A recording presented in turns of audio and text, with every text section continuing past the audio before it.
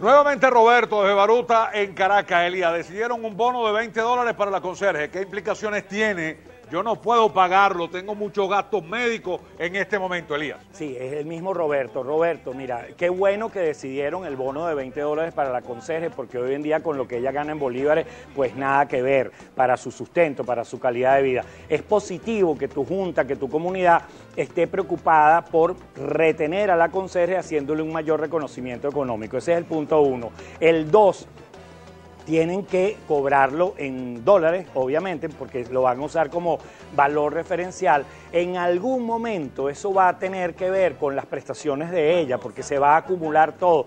Pero en épocas de hiperinflación, Roberto, las prestaciones tienden a cero. Ese no es en este momento nuestra preocupación. La preocupación es que ella sobreviva, se sobreponga y lo pase muy bien. Y luego, si tú no puedes pagarlo porque estás pagando en otros lados unos precios que se incrementan en materia de salud, entendamos, Roberto, que así como el médico te incrementa el tratamiento, el condominio también incrementa. No podemos pedirle al condominio que nos mantenga los precios, mientras que en el mercado normal estamos pagando los aumentos. ¿Qué tenemos que hacer? Ser más productivos.